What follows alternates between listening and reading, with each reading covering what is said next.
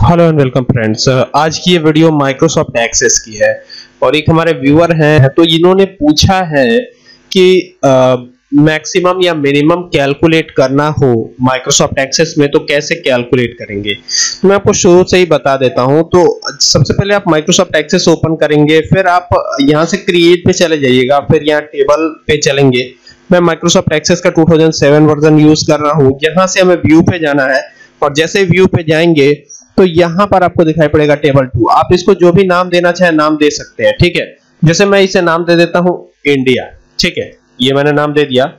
और इंडिया नाम देने के बाद एंटर प्रेस करेंगे, और एंटर प्रेस करने के बाद यहाँ पर आईडी आएगी। तो ये एक प्राइमरी की है। प्राइमरी की इट मींस कि ये यूनिक की है।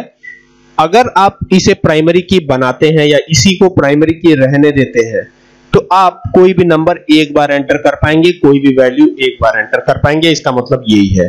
तो मैं इसको आईडी ही रहने देता हूँ और यहाँ पे कर देता हूँ नंबर ये लिख दिया नंबर और अब यहाँ पर हम नंबर एंटर करेंगे, ठीक है? और यहाँ पर नंबर कर देता हूँ और यहाँ से ओके करता हूँ और ये यस कर दिया हमने। तो यहाँ पर देख सकते हैं नंबर एक फ़ील्ड आ गई है और आईडी एक फ़ील्ड आ गई है। तो यहाँ पर कुछ नंबर मैं एंटर करके दिखाता हूँ आपको। 23 34 55 12 ऐसे कुछ नंबर हम एंटर कर लेते हैं। ओके।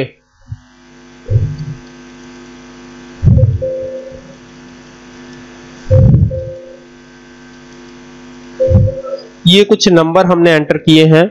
आप देख सकते हैं इनको। अब हमें क्या करना है? इसमें मैक्सिमम या मिनिमम पता करना है। तो एक तरीका तो यही है कि यहाँ पर आप क्लिक कर देंगे, नीचे आपको मिनिमम या मैक्सिमम मिल जाएगा। ये जो टोटल दिया हुआ है। लेकिन हमें ऐसा करना नहीं है। हमें क्वेरी बनानी है। तो क्रिएट पे चलेंगे और कहा चलेंगे? क्वेरी डिज़ाइन पे आएँगे। तो ये क्वेरी डिज़ाइन पर हमने इसे नाम दिया है इंडिया तो ये ले लेते हैं हम और अब हमें क्या करना है? यहाँ पर जो आपको चाहिए वो ले सकते हैं। कोई दिक्कत नहीं है। डायरेक्टली आप फॉर्मूला भी लगा सकते हैं। ठीक है? तो अगर आप चाहे तो ये ले लीजिए और ये ले लीजिए। लेकिन यहाँ पर हम डायरेक्टली फॉर्मूला अप्लाई करेंगे। तो इसको हटा देते हैं। ठीक है? तो यहाँ पे आप डायरेक्टली फॉर्मूला कैसे अप्लाई होगा? देखिए, सबसे पहले तो मिनिमम का फॉर्मूला अप्लाई कर देता हूँ। तो ये देखिए एम आई एन लिख दिया हमने और यहाँ पे ब्रैकेट को ओपन किया, फिर यहाँ पर इस तरीके से ओपन किया और फिर यहाँ लिख देता हूँ नंबर ये लिख दिया ना नंबर और इसको क्लोज किया और यहाँ से इसको क्लोज कर दिया। क्लोज करने के बाद इसको यहाँ से सेव करते हैं। क्वेरी वन के नाम से ये सेव हो गया और यहाँ रन करवा देते हैं। तो यहाँ पे आप देख पाएँगे कि इसमें मिनिमम हमने कैलकुलेट किया था तो यहाँ पर मिनिमम अमाउंट जो था इसमें, इस टेबल में, इसमें जो मिनिमम अमाउंट था टू वही हमारे सामने आया हुआ है।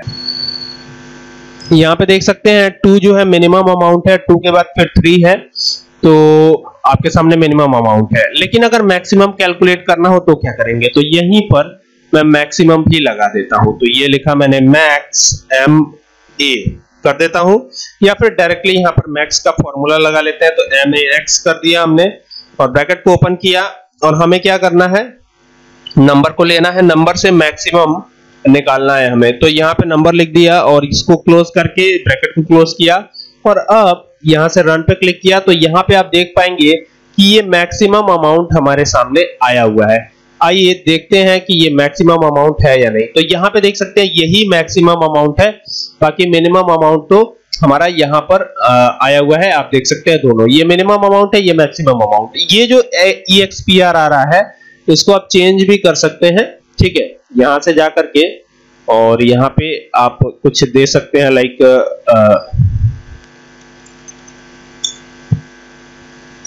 मिन कर दिया मैंने और इसको मैक्स कर देता हूँ। ये कर दिया हमने मैक्स ठीक है? और अब इसको सेव कर दीजिए। और अब रन करवाइएगा तो ये कुछ इस तरीके से मिन मैक्स आ जाएगा। पहला अक्षर स्मॉल हो गया है, आप कैपिटल कर लीजिएगा। Thank you for watching this video